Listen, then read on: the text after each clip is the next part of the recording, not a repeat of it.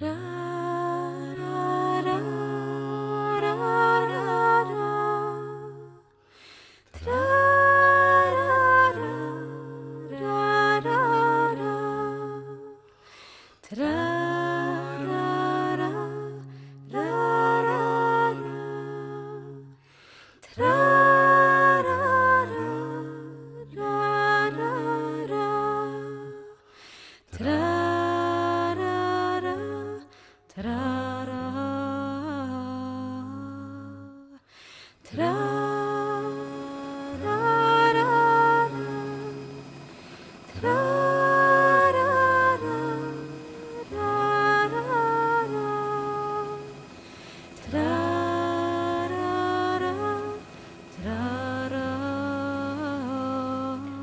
Vilhelmina, Valtjere ligger i norra Sverige, i södra Lappland, men mitt i Sápmi.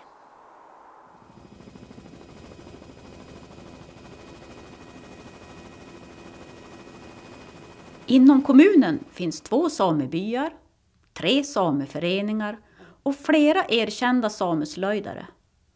Närvaron av den samiska kulturen är med andra ord stark. Här kommer några argument för att den samiska parlamentsbyggnaden ska uppföras i Vilhelmina. Byggnadens placering uppe på Kyrkberget innebär en magnifik utsikt över hela samhället och ut över Volgsjön.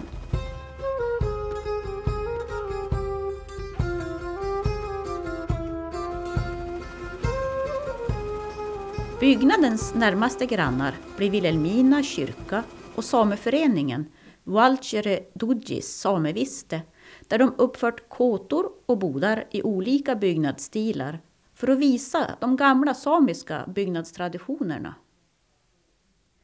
Strax nedanför kyrkberget ligger hotell Vilhelmina som har bra kapacitet både vad gäller bäddar och konferenslokaler.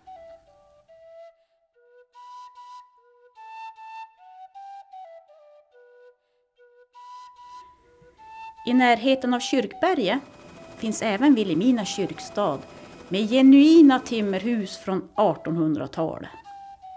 Flera av dem ingår numera i kommunens vandrarhem som drivs i samarbete med STF. Inte långt från Kyrkberget ligger även Folkets hus med konferensmöjligheter, café och matservering. I byggnaden finns dessutom simhall, bio, bowlinghall och bibliotek. Och här kan jag passa på att nämna att biblioteket har en stor samisk boksamling samt ett samiskt pressklipparkiv med artiklar från mer än 1200 olika tidningar. En riktig guldgruva med andra ord. Andra fördelar med Vilhelmina är att det är ganska enkelt att ta sig hit.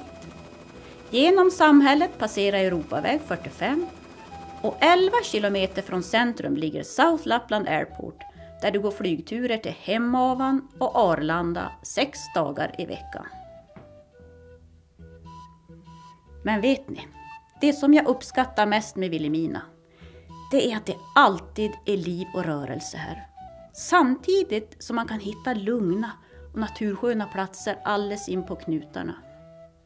Ja, ni kanske inte tror mig, men det är dagens sanning. Kom hit själva får ni se.